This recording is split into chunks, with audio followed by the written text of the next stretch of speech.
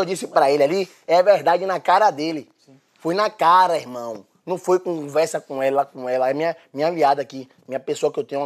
O Davi tá boladão, gente. Ele tá no paredão do BBB 24, já jogou a almofada, chutou as coisas e nesse momento ele tá ali no quarto, sendo ali ajudado pelos amigos dele. Ele tá muito nervoso, que foi parar no paredão pela segunda semana seguida.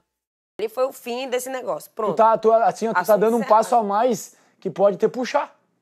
Então, Não, agora já acabou. Não, já acabou, acabou. Todo mundo ali no quarto, tá? O Matheus, tá a Isabelle, todo mundo conversando com o Davi e a Giovana também, dizendo pra ele se acalmar, que ele já chutou as coisas, já jogou a almofada, já fez o que tinha que fazer. Eles falaram, ó, pensa no teu sonho, que é o principal. Uma besteira dessa aí pode acabar com o seu sonho, pode dar algo pior pra você. E conversando com ela, eu vi. Pra quê? Pra, porque eu acho que ele tava já vetado, entendeu? E ele, ele sabia que ela ia votar nele. Você votou em quem? Eu não preciso saber. No Juninho. De falso. Deixa eu te perguntar. aqui, É falso. Juninho também. Falso. Não, eu não gosto, não gosto. Na hora que eles estavam ali no quarto conversando ali, o, o Davi e o grupo dele, o Nizam do nada entrou no quarto pra pegar uma blusa, uma roupa, sei lá o que ali na gaveta do armário.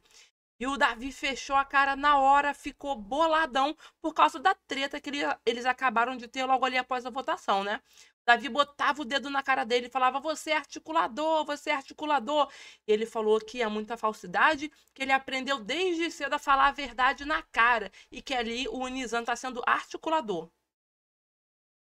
quando você conseguir conversar... E fala alto, fala o que você quiser.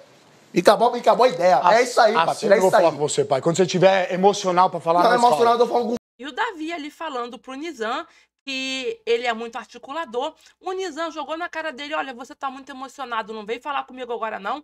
Quando você tiver menos emocionado, a gente conversa. Se acalma. Mas o Davi não quer se acalmar, não. O Davi foi pra cima, tá pegando fogo e ele não tem medo de ninguém. Não vai ser o Nizam que vai botar medo nele, né? Agora é uma pena porque o Pisani tá no paredão junto e ele deixou de jogar na cara do Rodriguinho algumas verdades.